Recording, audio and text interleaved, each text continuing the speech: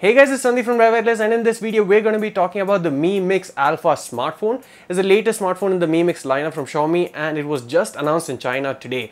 Now the main highlight of this device is the wraparound screen, the screen that goes all the way from the front up until the back and over the edges. So we'll be talking about the screen and all the other aspects of the Mi Mix Alpha in this video. Now before we get started, please do make sure to hit the subscribe button and also give us a thumbs up if you happen to enjoy the video at the end. Let's get this started. Before we get started on the Mi Mix Alpha, I'd like to talk about bezel screens and also the first generation Mi Mix smartphone. So the whole concept of a bezel screen or the need for a bezel screen uh, was due to the fact that as display sizes got larger and larger, there needed to be a solution to this where the smartphone doesn't get too big for your hands. Of course your hands are not going to grow. There there has to be a limitation to the physical size of the smartphone. And uh, shrinking the bezels was the way to go in order to accommodate as large a screen as possible in as small a footprint of physical size as possible. Now sharp actually was one of the first ones to introduce this whole concept with the aquos crystal collection. Uh, they had uh, you know top uh, be bezel top and sides but they did have a bottom chin so they kind of uh, had a thick bottom chin, but it still looked really great at the time. And if you especially looked at the camera viewfinder on that, you would notice that it, it looked unbelievable and something like straight out of the future. And Mi Mix was essentially a follow up on that and kind of maybe a reiteration and a, a, revision on that and kind of made the entire thing better and also accessible globally. So when uh, we were actually watching the live stream of the first Mi Mix, I thought this was a concept. I thought that, you know, this was a smartphone that they're intending to push it out a few years later, but that's not the case. It actually came to be and we even got the smartphone uh, for purchase all over the world and that's a great thing. And although the number of units were less and it's more of a proof of concept rather than a bestseller or a device that they, that they expect to sell millions of units it still shows that uh, you know technology needs to go a certain way. And now over the years since the Mi Mix bezels have gotten smaller and smaller and the chin has now disappeared almost completely. And now we have smartphones that are close to 100% screen to body ratio. Now comes the Mi Mix Alpha. So what the Alpha does is basically have a display at the front at the sides and even at the back so we have seen waterfall displays which essentially has a really steep curve at the edges. The Vivo Nex 3 is an example of that. So the curve at the edge is not uh, more of the glass curving, but the display itself curves onto the actual sides. The Mate 30 Pro is also an example of that, and that means that you have to go for on-screen virtual buttons since there's no place to keep the physical keys for volume or power. We still managed to cram a power button on the Mate 30 Pro on the right side, but the volume buttons, etc., are still on screen, and the Nex kind of removes the power button as well, and every button is on screen. Now the Mi Mix Alpha takes the same concept to the next level. So you have a display at the top, you have the display at the sides which are curved. Now the sides have uh, two issues. One, since the sides are active, it needs to have palm rejection or accidental touch rejection, which is a huge problem if you intend on having a smartphone with the screen all around.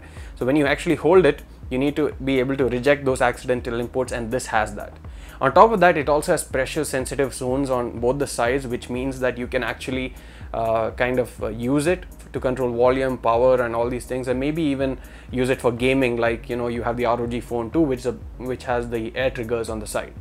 So Apart from that, the side also gives you the application where you can use say a flip cover and only the side remains active where you can see details about the notifications and the battery life, the time, etc. which was a concept that Samsung initially introduced with the Note Edge which had just a curved screen on the right side. They actually used two different screens in that concept where they had a primary screen and a secondary additional screen that had been stuck onto it but the software was done so well that you didn't really feel it was two different screens. But in this case, it's a single screen that goes all the way around. Now the difference between the Mi Mix Alpha and say a smartphone such as the Fold is that this has been pre-flexed. It has been pre-flexed, pre-curved and pre-fitted onto the phone in such a way that you cannot flex it further, but you actually have a device that is curved. It's a curved display nonetheless. Uh, and while the Fold, Huawei Mate X and other phones can actually flex it further as many times as you want, this can be uh, used as it is itself. So you cannot flex it, but at the end you get a wraparound screen that goes all the way around.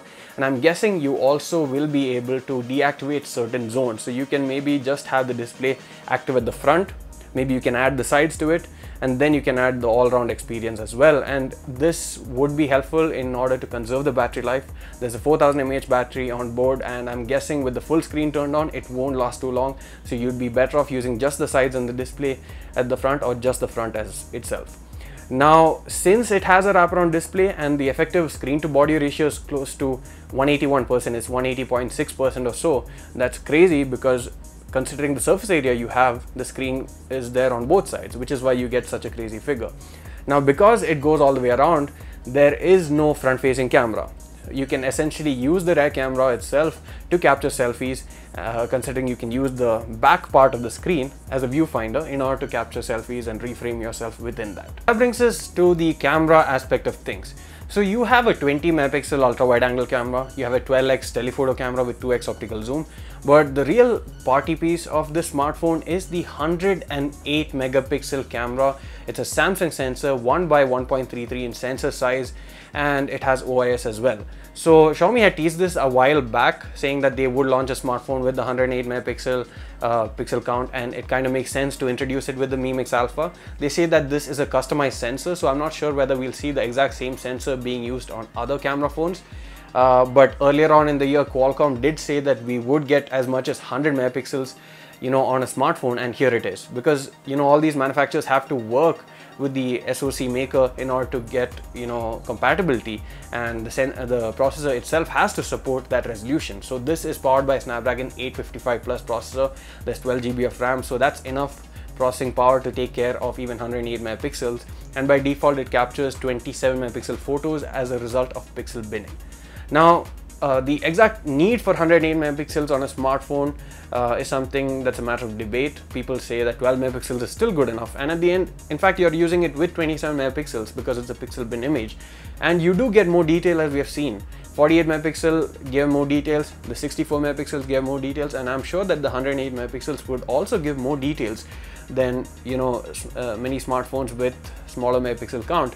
But of course, there's the downside of having you know better i mean lower uh, low light performance and those kind of things. But we just have to see how it is overall in terms of the uh, quality and the performance in real life. Uh, this, this, these cameras are actually protected by sapphire glass and they're housed in a ceramic housing um, sapphire glass means there's no scratches whatsoever and it's more durable in terms of scratch protection than even Gorilla Glass or any other kind of uh, you know uh, safety glass that's available right there. But it is fragile. So uh, considering that you know this is a high-end smartphone people might be carefully using it so i guess it makes sense and there's also titanium housing for the entire smartphone so titanium housing is apparently three times as strong as stainless steel which apple is using on its iphones and stainless steel is indeed more shock resistant and more durable compared to say regular aluminum. So that way titanium is also really good and is a really premium material. You get 512 gb of storage ufs 3.0 of course. There's a 4000 mAh battery that supports 40 watt uh, fast charging.